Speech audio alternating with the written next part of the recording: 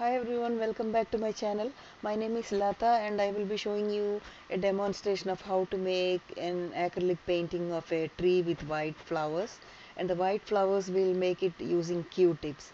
The materials we need for this painting are acrylic paints white, burnt umber, green, yellow and we'll need mixed media paper or canvas and we also need a medium sized brush and a small brush uh, to make this painting. I hope you enjoy and thank you for watching and please subscribe to my channel to join me every day to make some quick and easy paintings on a daily basis. Thank you again.